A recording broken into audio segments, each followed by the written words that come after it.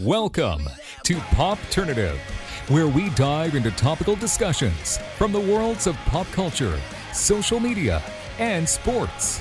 Here is your host, Peter Remoliotis, aka PD Beats.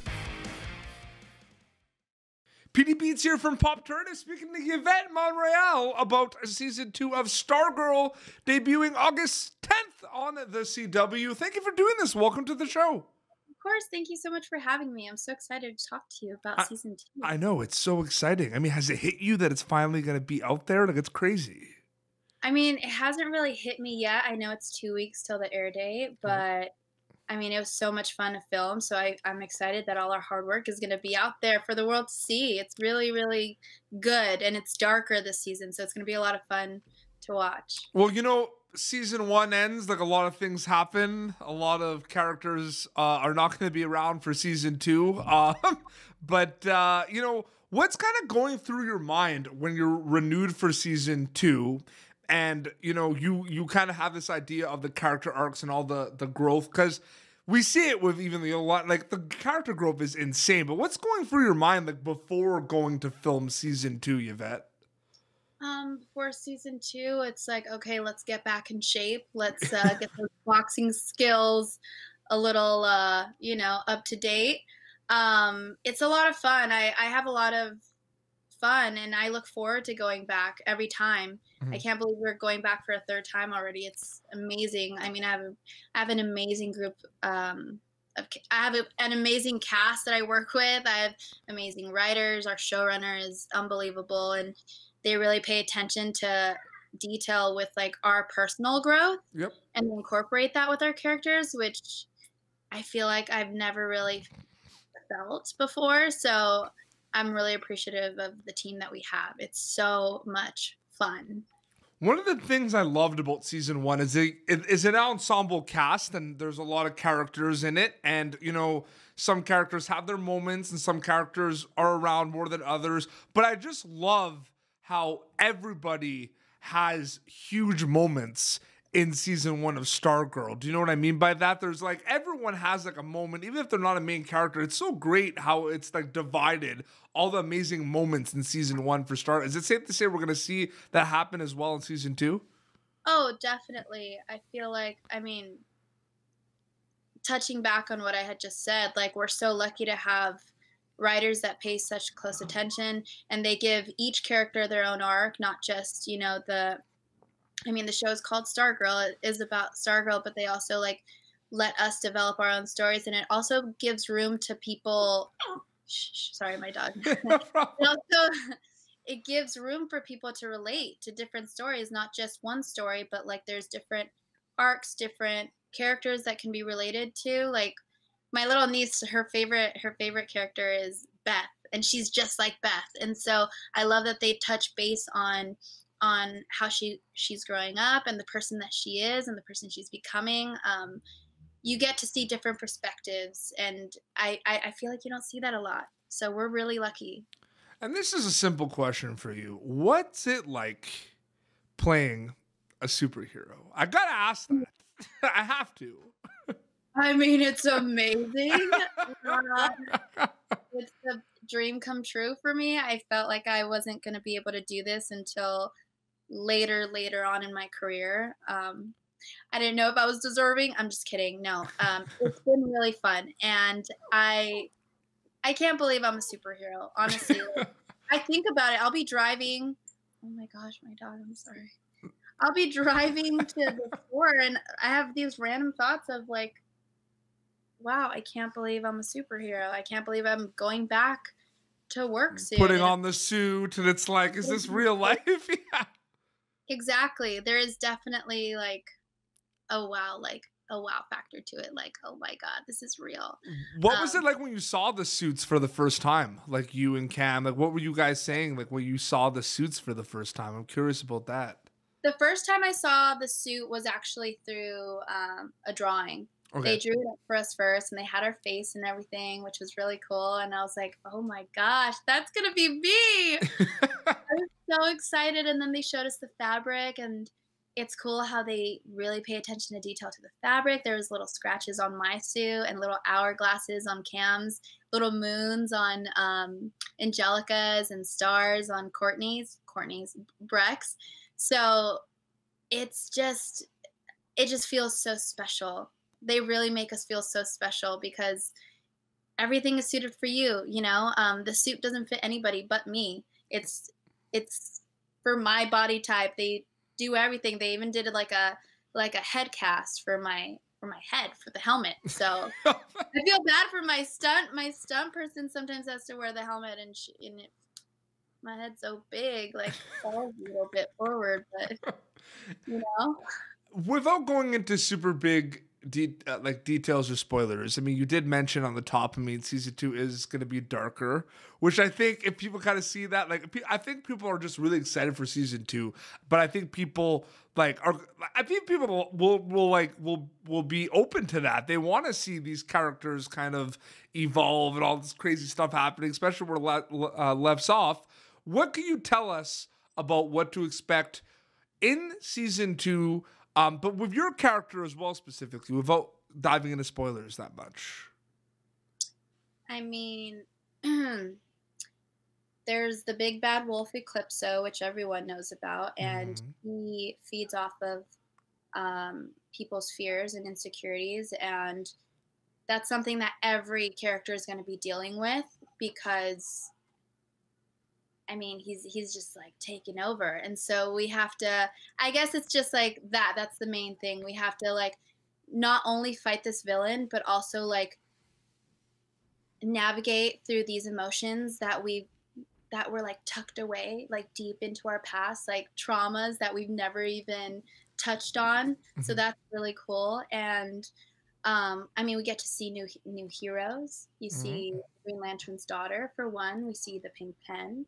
Um, and then new villains, the Shade, and of course Eclipso, who I just touched on. But um, yeah, with Yolanda, she touches base on a lot of her. I mean, it's really heavily inflicted, like her faith. Yep. Because she doesn't have the JSA to lean on, at least in the beginning, because you know she just killed Eclipso. She doesn't want anybody to know that she's really dealing with this kind of turmoil yet. She's not comfortable to say like, "Hey." It's almost like a like she doesn't want to be vulnerable. You yeah. know, she doesn't want to show her her weakness, and um, yeah, so she goes she goes to her faith a lot in this in this season, and and dealing with if she's going crazy or if brainwave is taking over. She has all these emotions that she has to kind of sort out, and and not only that, but there's also the villain that she's dealing with. So it's a lot. It's a lot to take in. It's coming out this year and it's going to be a lot different than last year because last year it came out during the pandemic and you know a lot of people were just at home watching shows. And stargirl i feel like is going to become one of those like i talked to other cast members like one of those pandemic shows where everyone was watching it was a big deal. Um yeah. it's it's like so you you're like kind of prepared a little bit to what to expect because it was crazy when it like drop last year. Are you kind of preparing yourself mentally a little bit when it drops finally in August 10th? Like people have been craving this for a long time. Oh my gosh, yeah. And I think the cool thing about about the show, like if anyone knows Jeff, like Jeff throws in elements where you don't expect things to happen. And like, I mean, you guys saw season one, Henry died. Who would have expected that? We miss our boy um, but yeah, there's like elements of surprise, and and I'm definitely prepping myself and my whole family. Like we all want to watch it. It's it's really exciting. It's like season one was one movie, yeah, one movie, and then season two it's like another movie. It's it's a 13 episode movie. It's amazing. It, yeah, but like the thing is the scale of it. Like I remember talking to Jake and Neil last year. I mean, the scale of it, like especially like episode one of season one, it's like mm-hmm. it's so big scale and so much is happening, and it's like, what is going on? Like it does feel like a movie. It's like you guys are going in and shooting a blockbuster movie, but it's 13 episodes. I mean, Jeff said it. He's like, if we're not going to do it right, we're not going to do it at all. And I mean, I give big props to our stunt team you know, Walter Garcia, who coordinates all the fights, like that's a big element to the show and like a big wow factor. So, um, we're really lucky to have our stunt team. I mean, my my stunt double, Kara, um, Kara, she's so amazing and she's so skilled. Like, there's one, I don't know. I've seen like small stunts, you know, if like you get punched in the face, whatever. But the level of the skill that they have and that they have to like the preparation is insane. I wish you guys could see it. I'm gonna like BTS it. Watch season three so you guys well, yeah, that that is a cool thing too, like the social media interactions. But you know, it's no surprise they're saying we're in the golden age of television, and I agree. And a lot of people are saying we're in the golden age of television event because the quality of the content, the writing, the cinematography, and I agree with that 100%. That is like center of the attention. I agree. What I believe truly is the factor behind us being the golden age of television is mm-hmm. the access and the global aspect of it. The fact that these shows are watched and followed and tweeted about and Instagram posted all over the world. Like there are fans of Stargirl from all over the globe. Like that to me is just sensational to see. Like it is so amazing to see that there's countries all over the world that love Stargirl. Like isn't that crazy? It's so crazy. And honestly, I'm so proud of Jeff because this is his pride and joy. Mm-hmm. I mean, going into it season one, I remember him talking about how special it was to him and how it was such an important project because it really like pays tribute to his sister. Yes. In peace. And, you know, she, I, there's like such a big level of, be, of proud proudness that I have. And yeah, I'm I'm really lucky to be a part of this. And and the fans, the scale, like you said, the scale of of the fans and how they're so like they follow everything, they pay attention to everything. I remember one time I posted a picture with Ysa, the one who plays Green Lantern's daughter, and they were like finding all these little clues on her hand and like a new ring that she had and I'm like, "Oh my lord, this is this is on another level." So Well, they also don't mess around with the Yolanda Wildcat like edits and memes. Like they don't mess around. Oh my gosh, I'm like, "Who are these people? They need to join they need to join the marketing marketing team because they their edits are amazing. I love like the comic book edits that they put behind our pictures and like it's the best. It's the, the, best. The quickness blows my mind too because I remember like I was watching Stargirl week after week, right? Mm-hmm. And like there would be, especially what we we all know what happens to Henry, right? I mean, right after it was on, like everything was pouring in, all the edits. Like it it did, it seemed like it was like 20 minutes after it what it came on air. Like it was crazy how quick it was. It was, so, it was so perfect to that song. And then of course Jake, he had to play on his guitar the same song of his character passing like it was perfect. Oh my god! But you all knew, right? Because you're reading the script, right? Like characters like him and, and, Neil, like they they you all knew it was like a one season thing, right? Like so, yeah, but it was Jake, still, I'm sure, emotional. Like when you finally like saw it back, absolutely. For sure, yeah. Jake knew he um he had to know because of his scheduling purposes and like relocation kind of situation. So I mean, him and Jeff had a whole had a whole talk about it, and it was so sad that we didn't know how it was going to happen. That was like the big surprise. I'm like, oh my gosh, and he just he just looks up at me and he's like, the rocks just fall. It was. That was the talk of the town. Like, people were talking about that episode for a long time. I feel like that was just one moment that kept like got got brought up.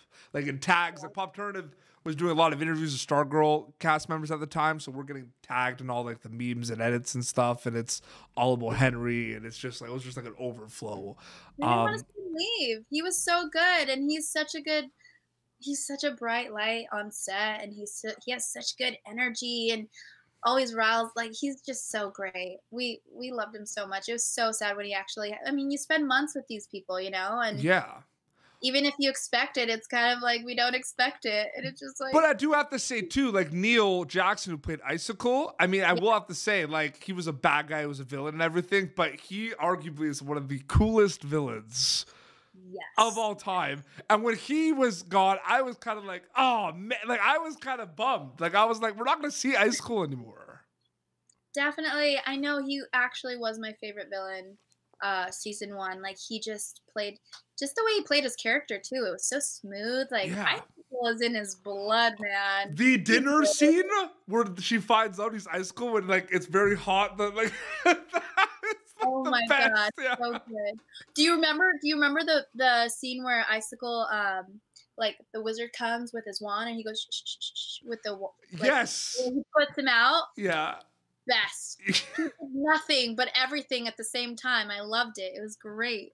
It was so. There's. Oh, you're making. I can't wait for season two. Like. Let's- Right now. I'm just kidding. Yvette, thank you so much for coming on Popternative. I really appreciate it. Of course. Thank you so much. This was such a fun interview. I appreciate you taking the time out too. For sure. Uh, August 10th, it's coming out, Yvette. Yes, August 10th, it comes out on the CW. Amazing. And Well, this has been Popternative, youtube.com slash Popternative for previous episodes. Until next time, this is Yvette Monreal and Peter Beats signing off. Thank you for tuning in to Popternative. Make sure to check out our past episodes of Popternative on YouTube.